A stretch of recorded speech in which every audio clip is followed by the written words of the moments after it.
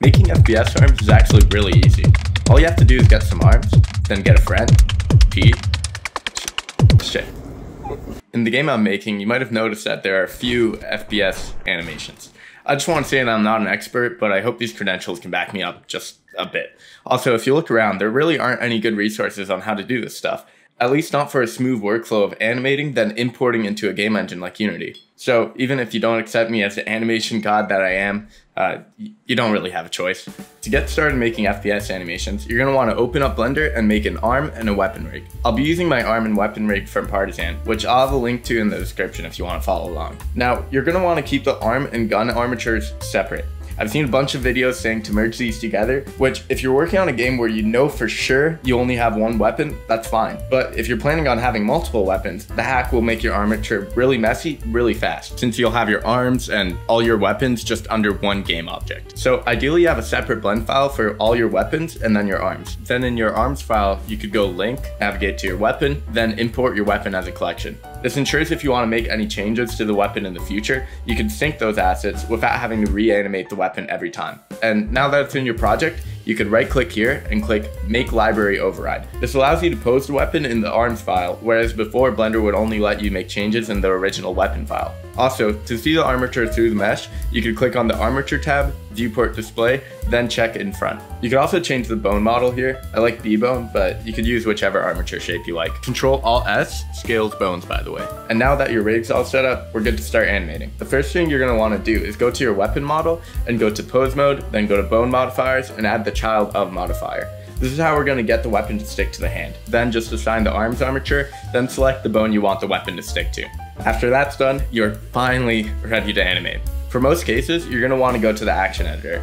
This section here is the current action that the armature is playing back. You can name actions here, then make sure, I mean, make sure that this little checkbox is ticked. As otherwise, if you close Blender, the action won't be saved. Depends on what weapon you're working on, but each action should, well, be an action, like a reload, a shoot animation, or an equip animation. When importing the FBX into Unity, you'll see that Unity actually recognizes each action in the model importer. So keeping good naming conventions and cleanliness is really important here. Now, this tutorial isn't really about animation principles, more about the workflow, but let's just say that we want to tackle a shoot animation. I usually start with key poses, the poses with the most extreme positions and rotations.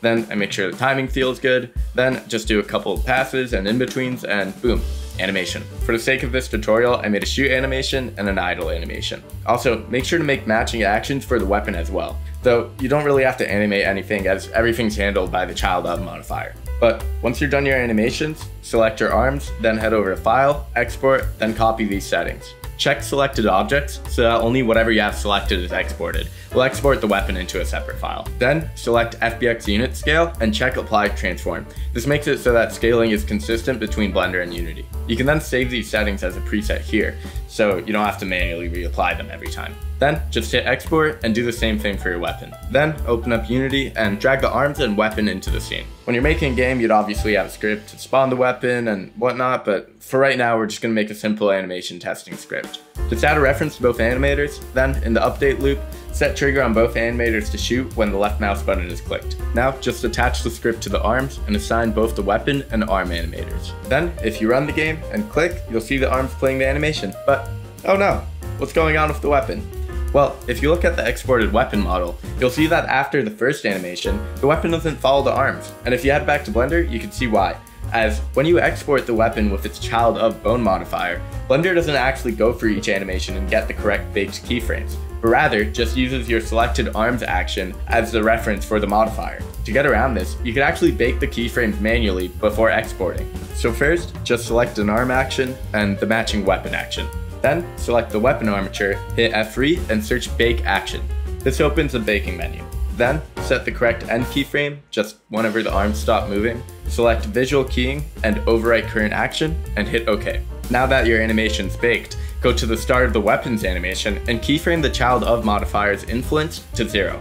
Since the modifier is now baked into the keyframes, it's essentially applying it twice, which messes up the animation. Then just do the same thing for the rest of your weapon animations. Make sure to swap the selected arm action and matching weapon action, and to keyframe the child of modifier's influence back to 1 at the start of the animation. Then bake again. And now, if you export the weapon with the preset we made earlier, you'll see that the weapon's animations are fixed. Also, side note, if you ever want to edit an animation, you'll have to select all the weapon's baked keyframes, delete them, and key the child of modifier's influence back to 1 at the start of animation. But that's pretty much it. If you play both animations at the same time, they'll now sync up and work together. You can now easily go from Blender to Unity and create hundreds of animations with hundreds of different weapons. You can also easily carry this method over to third-person character animations, by the way. Uh, it's not just restricted to FPS arms. And if you have any questions, you could ask me in the comments below. There are also project files available in the description. By the way, fellow game developers, this video is sponsored by Blue Ocean Games, but don't skip ahead, this is really cool.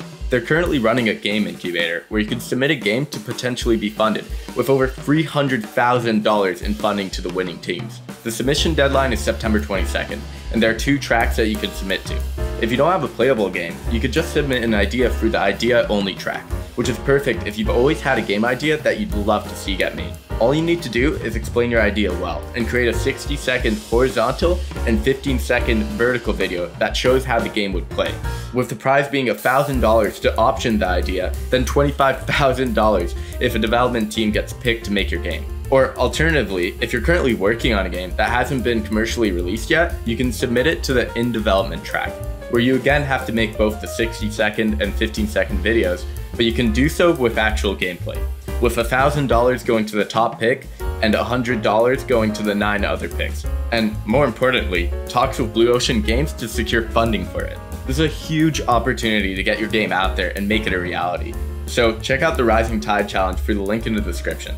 And thank you so much to Blue Ocean Games for sponsoring this video. But anyways, that's it. Thanks for watching. Uh, there will be a new Partizan devlog soon. Um, I've got some really, really cool stuff planned, so keep an eye out for that. And uh, see you guys in the next one. Bye.